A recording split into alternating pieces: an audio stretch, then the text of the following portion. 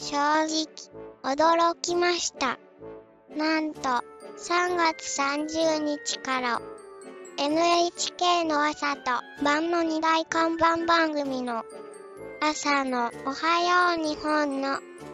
くたまゆこアナと夜のヌースウォッチナインのくわこまフアナが真逆になれというではないですか。この異例中の異例の朝夜の顔の入れ替えには朝に知った出勤前のおじさんたちはショックでまともにネクタイを結べなくなったり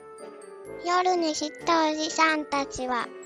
飲んでいた晩酌のビールを吹き出してしまうやろ。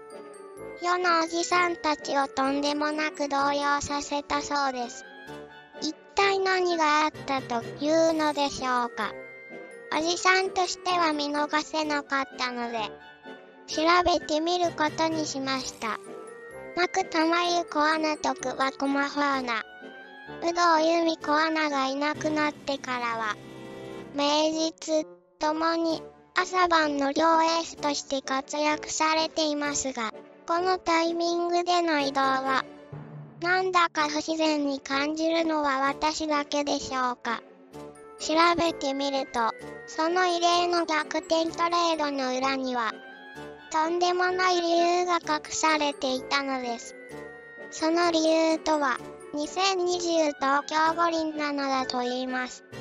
当然、他のテレビ局もエースをメインキャスターに持ってきますよね。今までなら NHK には武藤アナという一枚看板がいたことで NHK 内部で色が挟むものなんかいなかったわけですが今はそうではなく噂によるとマクタ派とクワゴ派に分かれて東京五輪の覇権争いが激化しているのだとか。でも、二人の逆転移動が、それに何の関係があるの？当然そうなりますよね。実は、割と信憑性がある筋の情報では、大いにある、ということなのです。その謎を解くためには、マクタマユコアナとクワコマフアナの二人の経歴や生き様が謎解きの鍵になるようです。マクタマユコアナ2歳から5歳までは米国テキサス州フーストンで暮らしたそうです。それから中高一貫のキリスト教系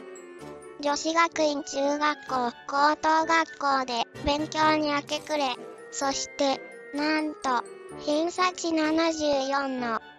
東京大学経済学部に入学した長州祭。大学時代は男子ラクロス部。トレーナー兼マネージャーとして頑張っていたそうです。そして、お父様は厳格な性格で、キャリア公務員ということです。しかも、おじいさんがフランス人のクォーターなんだそう。通りで美しいのはそれもあったんですね。火の打ちどころがない彩色権利の女性ですね。地方に行ってもすぐに呼び戻されるはずです。その期待の大きさが伺えますよね。しかも昨年に至っては、天皇陛下の大位の礼、即位の礼関連のキャスターも務め、さらには紅白歌合戦の初の司会も務めました。これぞ、まさにエースなのか、というアクターの。しかし、その反面、世のおじさんたちをヒールのかかとで、踏みつけるようなこともしましたよね。そうです。とうとう、というか、ついに結婚してしまったのです。お相手は、これまたイケメンのエリート。早稲田大学卒の三菱商事勤務の猪俣秀樹さんという男性です。総大時代は箱根駅伝にも出られたアスリートだったようです。学歴、容姿、収入とワクターナに負けずとも劣らない男性だとか。でしょうね。そう言って、肩を落としたおじさんたちが多いでしょうが、捨てる神あれば、拾う神あり。大丈夫ですよ。クワコマフアナがいます。こう見えても、国立大学卒で、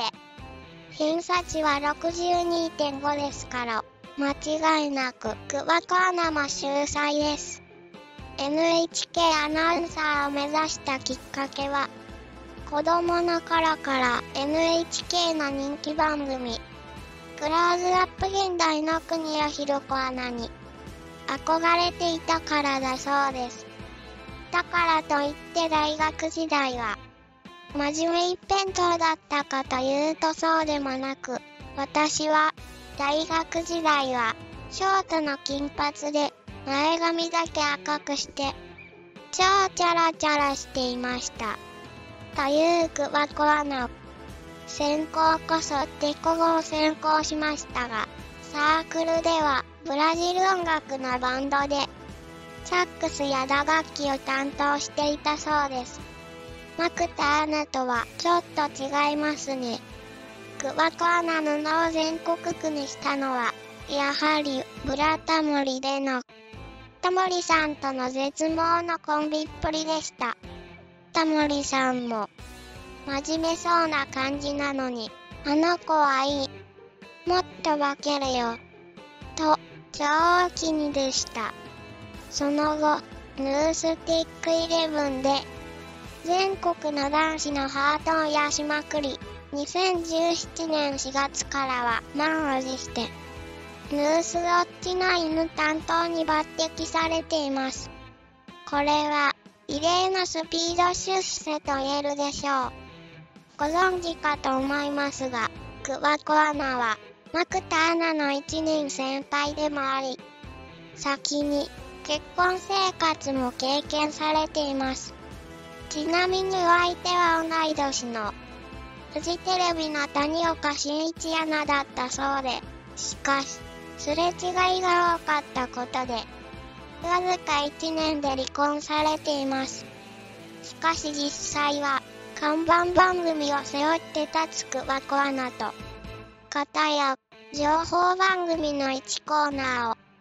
担当するにとどまる夫との間で、いろいろあったんではないですかね。ちなみに、結婚したのも離婚したのも、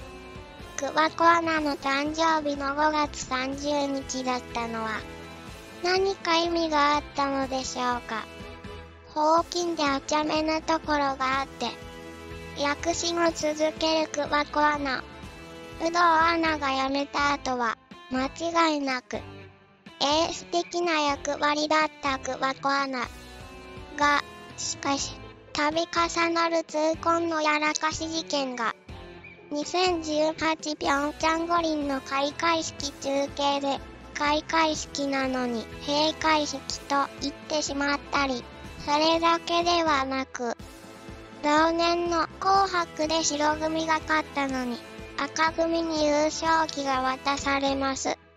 と、とんでもない失言を繰り返す始末。大事な場面でのボンミスが続いて、両総部の信頼を損なってしまったとも言います。あのぴょんちゃん五輪開会式でのやらかしは、ニコニコして見ていた。日本中のおじさんたちの下心も絶対0度に凍りつかせたの。を、今も鮮明に覚えています。しかし、この二人の今までの経歴や生き様が、今回の異例の移動と何の関係があるのか、さらにはそれがなぜ、今後の NHK のエース争いに大きな関係があると言えるのか、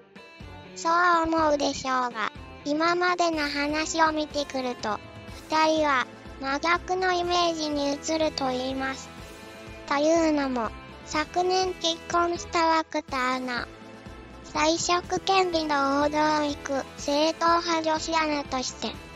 NHK のエースとしてはうってつけの人材。今は、朝早い番組の担当で見ている人が多くなく、現時点ではネームバルーはクワコアナよりも劣っているものの、東京五輪のキャスター就任も見据えて、夜の帯で視聴率もいい。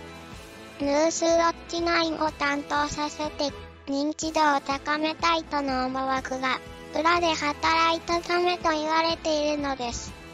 そのための伏線だとするなら、残念ながら、クワコアナはエース争いから脱落したと見てもいいのでは？そういう意見もあるようです。確かに、昨年からの流れを見ると、ボンミスの許されないところには、クワコアナではなく、マクタアナが入っているのも事実です。そういう見方をする方もいるかもしれません。一方では、エース争いに敗れたクワコアナが、これで、いよいよ、フリーへの道を選んでしまうのではないか、という見方をする人もいるようですね。当の二人は、一体どう思っているのでしょうか？いかがでしたか？あなたはどう思いましたか？私は、涌田真由子アナと桑子真帆アナ、どっちも選べないというのが正直な気持ちです。それにしても失敗は誰にでもあることですし、離婚したからといって、決して桑子アナが負け組というわけでもありませんし、どっちがエースかなんて関係ありません。これからもずっと二人のことを応援しています。